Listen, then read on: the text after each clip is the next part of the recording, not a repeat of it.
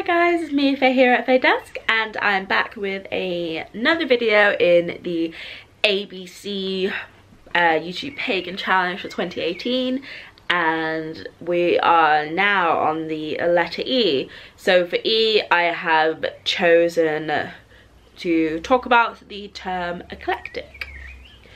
So again, if you see me looking down, I'm looking at my trusty notebook and yeah, so let's get back to eclectic. The term eclectic, in a basic sense, means selecting what appears to be the best fit for you. So hence why eclect eclectic Wicca especially in recent years has really gotten some really big sort of clout behind it and it is very very popular especially for people who feel like they don't fit into a specific type of Wicca or witchcraft or paganism and they feel they can feel that it's a very it's a easy way to sort of to describe their path and their practice. I know I do personally. If someone was to ask me I would say I'm an eclectic fairy Wiccan and I feel as well now that eclectic Wicca has really sort of is such its own term now that I feel like you don't need, it doesn't need any sort of further explaining anymore. If I said to anyone that is of a witchy persuasion that I'm eclectic, they would instantly be like, right, okay, I, I, I get it. I know what that is. They don't, they would, I wouldn't need to go into depth and explain that I, I don't know, I have uh, some views um, that some of my path is very Wiccan or some of it's Native American spirituality. I wouldn't need to go into depth and sort of explain exactly what each portion of my craft is to make up the eclectic whole as now it's sort of just a given that you have different beliefs and you practice different things and yeah so it's pretty awesome and um like I just said, it applies to eclectic Wicca as the term that applies to different types of witchcraft traditions, like I've said, that don't fit into sort of one category. And there are multiple reasons why a witch may class them, classify themselves as an eclectic Wiccan or eclectic pagan or eclectic witch, however you want to do it. Whatever you however you like to phrase your terminology. Uh, some of these reasons may be in a sort of mix and match aspect, which I probably say is what I am, is that I'm a witch that likes to sort of blend to different beliefs and traditions and cultures to sort of um, make them into my own. So for my personal, my personal witchcraft uh, faith, I do lean heavily on uh, fairy wicca, but I also like to incorporate bits of um, my Native Native American spirituality in my path.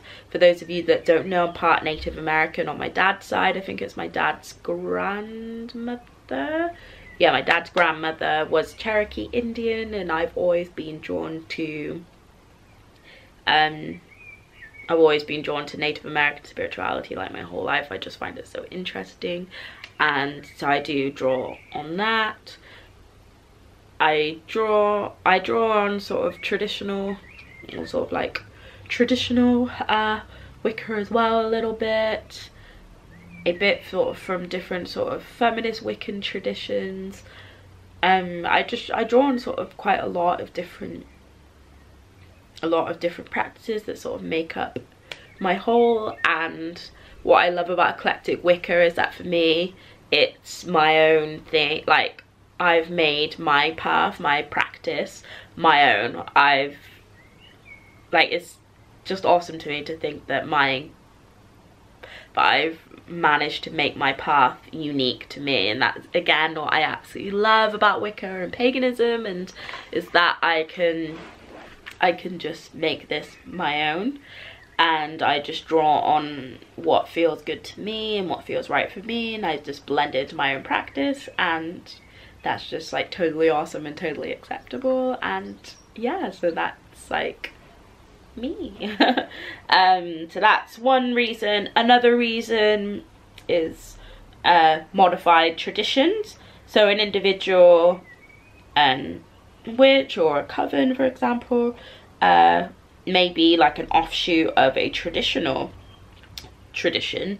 So say a coven may be an offshoot of Gardnerian Wicca, for example, but they've modified Gardnerian Wicca um, so that it's different, so it's different from the original form. So that's that would be why they would classify themselves as an eclectic form of Gardnerian Wicca as they base their beliefs, their principles and their practices on it, but they have modified and changed it from what it actually is to fit their purposes. So that's another sort of that's another sort of relatively common reason of why someone may classify themselves as eclectic because they may have modified the tradition that they follow to sort of uh, make it their own. And another reason is that entire that may be a unique practice of the person entirely may have a completely uh, different brand of Wicca that is completely unique and they've crafted it themselves and their specific system of Wicca or paganism can't be categorized into anything that or be identified as anything that is already known. So that would be why it'd be known as eclectic. Another one may, another reason, another common reason is they may be an uninitiated practitioner. For uh, those of you that don't know about or don't sort of know from a traditional Wiccan perspective is that uh, Wicca and sort of like traditional sort of Wicca, like um, Gardnerian Wicca for example, has three, only one, four, five then, has three degrees of initiation. So you have your first degree, your second degree and your third degree. And someone may be practicing as uninitiated they may be practicing that form of Wicca from what they've gathered for, from public resources, but they haven't been initiated into a coven. So you would recognize them as eclectic, for example. Uh, the Church of Universal Eclectic Wicca, I didn't even know that was a thing properly until I started researching this. Um, they support they support eclectic Wicca and they actually describe it themselves as a religious belief that allows the existence of truth in a multitude of places. And they encourage exploration and experimentation and it's not frowned upon so yeah that was um, really awesome and for me I just feel like eclectic Wicca is just I just feel like it's just right for me. It's just natural.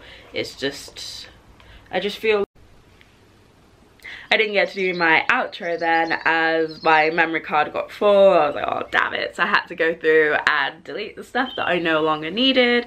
And that was just a pain in the ass.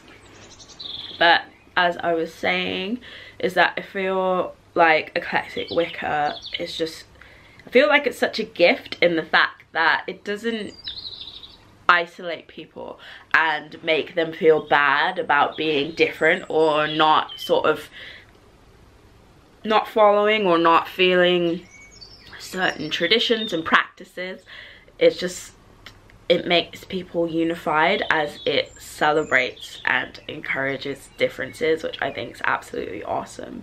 And I would love to know how you feel about eclectic how you or if you classify yourself as a eclectic Wiccan, pagan, witch, whatever, and why I think I'd find it I'd find it really interesting because I love to know about people's beliefs, what they believe and what they classify themselves and things like that. I just find it really interesting and I just love the fact that eclectic is such a broad, such like a broad and loose label that it's just it's an umbrella term in and of itself and I just think that's just so amazing and awesome and it's just crazy when you actually think about it that I I say I'm an eclectic Wiccan and my friend can say she's an eclectic Wiccan and it's so crazy and awesome to think about that we're both eclectic Wiccans but our practices and our paths are like